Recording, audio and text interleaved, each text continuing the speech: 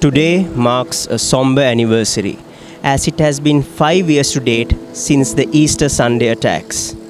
But despite that tragic memory of the past, the people of Thimbirigasyaya have gathered here yet again, asking for justice for the Easter Sunday victims and also good governance and an end to the corruption in the country that they believe have plagued Sri Lanka.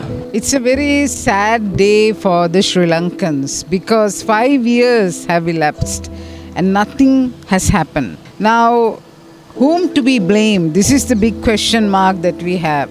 I firmly believe that the Cardinal has trusted the politicians too much. He was expecting results to come from politicians. And you know the politicians in Sri Lanka, they don't do crimes alone they do it gang crimes.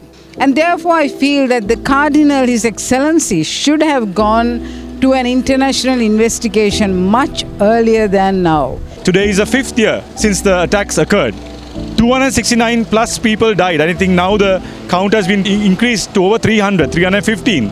What is the point of allocating 539 billion rupees for defense by Ranil Wickremesinghe, our President and Minister of Justice? if there is no accountability, if there is no justice, if there is no security, you cannot move forward unless you have accountability for past crimes. I believe in a God and I believe that justice will happen from Him, even though no justice has come from our leaders.